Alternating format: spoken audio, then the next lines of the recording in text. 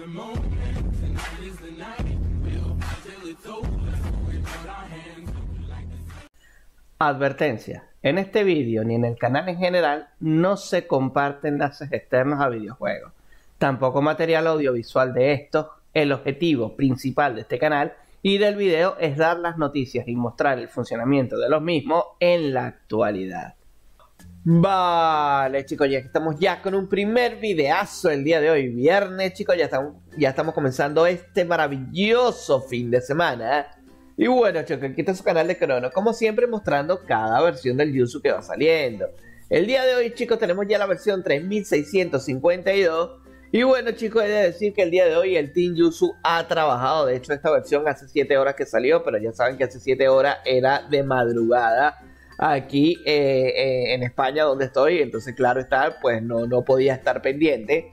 Pero bueno chicos, más vale tarde que nunca y aquí está Crono, ¿no? Haciéndote saber lo que es la nueva versión. El día de hoy déjame decirte que el Team Yuzu ha trabajado, ¿ok? Y hoy tenemos aparentemente una buena versión del Team Yuzu, ¿ok?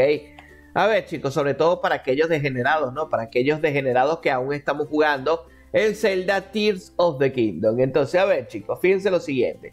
Si nos vamos al Discord del Team Yuzu, ¿no? Y nos vamos a lo que es el apartado de las actualizaciones del Yuzu, que como bien ya he explicado anteriormente, aquí colocan los beta tester, ¿ok? Porque este, esta, este apartado del Discord, los que más publican, claro está, son los propios beta tester. Entonces ellos colocan aquí lo que ellos consideran que son las, actualizaciones más importantes dentro de el, del User Early Access, ¿no? En este caso, chicos, tenemos ya la versión 3651 y la 52. Bueno, la 51, que es la más importante, claro está, tenemos lo siguiente. Primero, implementa lo que son datos perdidos de eh, que se encontraban en la zona del tiempo, ¿no? Esto corrige lo que era un bug que se estaba presentando en la cuando se implementó la zona del tiempo y agregan lo que son códigos perdidos que eran requeridos. Ok, luego tenemos chicos que agregaron la información del backend de los share caché de, de OpenGL en la barra de status. ¿Cuál es la barra de status? Bueno chicos, si nos vamos a el, el Yuzu, ¿no? Esta barra que está aquí abajo, esta de aquí, es la barra de status. Ya saben que cuando comenzamos a jugar, aquí esta barra nos muestra toda la información de lo que es los share caché cuando se recolectan, los FPS, bueno, en fin, etcétera, etcétera. Pues bueno, ahora te aparece la información de los share caché recolectados con OpenGL, ¿ok? Vale, luego indica lo siguiente, agrega lo que es la sincronización, bueno, la opción de sincronización de los FPS de los videos, ¿ok? De lo que son las cinematográficas, ¿no? De, de, la, de las escenas. Este, esta opción obviamente se encuentra aquí, chicos. Ya, de hecho, ya yo lo había mostrado en emulación configurar. Y si nos vamos al apartado de gráficos en la pestaña de avanzado, vemos aquí la nueva opción que dice sincronizar los frame rate del video playback, ¿ok? Que es la sincronización de los FPS de las escenas, ¿ok? De los videos. Entonces, eh, de hecho, también la podemos encontrar aquí si la queremos, obviamente, eh, colocar en cada juego particularmente. De hecho, yo se la tengo colocado aquí allá al Tears of the Kingdom. Si me voy acá, no, no lo tengo colocado, hay que colocárselo, ¿ok? y ahora esta opción lo que hace es que los videos vayan en los FPS originales. Aunque nosotros desbloqueemos, ¿ok? Aunque nosotros desbloqueemos con Control U lo que son los FPS, ¿no? Para que nos vaya a más de 30 FPS, a 60, 70, 80, dependiendo de nuestra PC, claro está. Pues bueno, que a pesar de colocarlo a unos FPS altos, que cuando comiencen las cinemáticas, estas se presenten en los FPS originales, ¿no? Para poder ver las escenas de manera correcta y que no se vean aceleradas.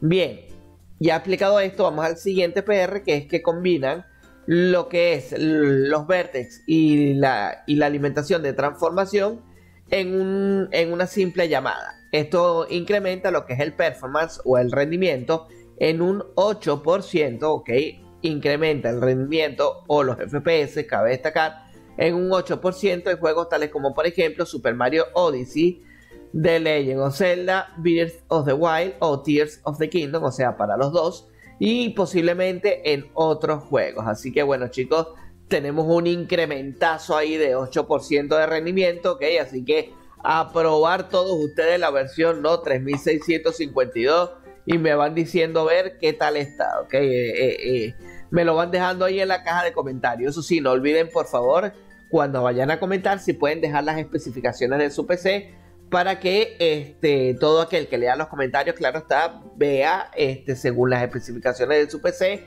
y hacer una comparativa de lo que puede esperar o no, ¿no? Entonces, bueno chicos, un 8% lo veo bastante bien. Luego se usa lo que es el más grande, ¿no? Tamaño de bit en la profundidad del FX para el FX AA, ¿ok? Que es un anti-aliasing, ¿no? El método de anti-aliasing. Esto aparentemente corrige lo que era un, un, color suave o un color decaído o doblado. Este que ocurriría cuando se activaba el filtro del FXAA. Ok, yo como lo tengo sin filtro, pero bueno, para los que estén utilizando el filtro FXAA, pues bueno, se le arreglarán los colores, ¿no? Luego tenemos la 3652 donde se ajusta el rescalado y eh, el uso constante de del rescalado, ¿no? Donde se corrige lo que es la, la, la, oclusión ambiental. Ya yo lo he explicado anteriormente, que tristemente, anteriormente sin el mod de shock para lo que es el mod de resolución, este, el emulador cuando lo quería rescalar a más de 1080, se rompía todo lo que es la oclusión ambiental. ¿Qué es la oclusión ambiental? Bueno, todo eso que está en el ambiente, qué sé yo, cuando estás en la en el mundo de cuando estás por lo menos por la zona de los gerudos, pues la arenilla esa que se ve en el, en el ambiente, ¿no? Ahí en el, en el aire, eso es oclusión ambiental, bueno, todo eso que pertenece al ambiente, por ejemplo, también las luces cuando pasan por, que deberían de pasar por los huequitos de eh, la madera, qué sé yo, cuando no está rota la madera, y todas esas cosas, ¿ok?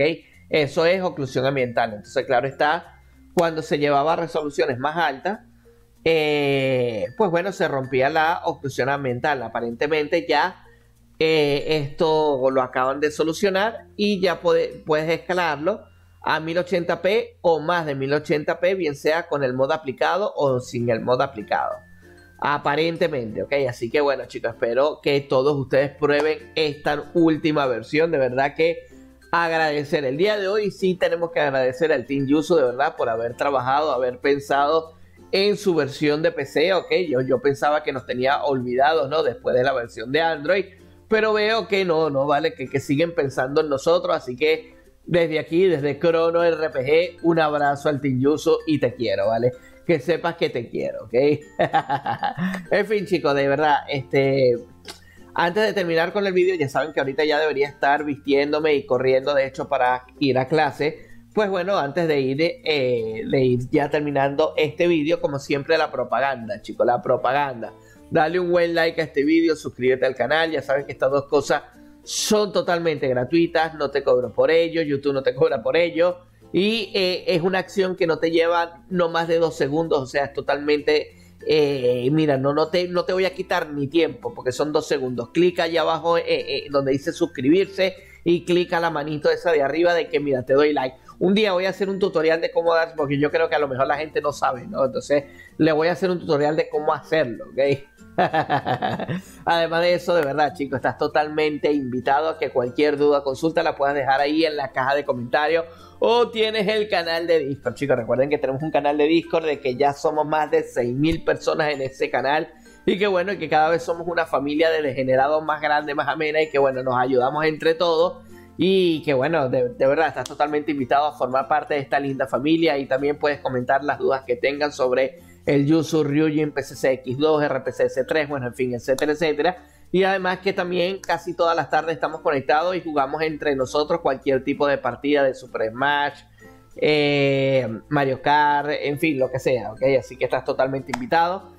Y, nada, chicos, además de eso, recuerden que tenemos la página web de cronorpg.com, donde ahí coloco todos mis tutoriales, ¿no? Los más emblemáticos para que no se pierdan en los más de 200 vídeos y que, bueno, los tienes totalmente a la mano, que lo, hizo, lo hice con mucho cariño para ti para que tengas todos esos tutoriales a la mano. Y bueno, chicos, ya lo termino hasta aquí. Ya no te aburro más, vayan a jugar, prueban esa versión, lo dejan ahí en la caja de comentarios y bueno, y nos vemos como siempre en el próximo vídeo. Hasta la próxima.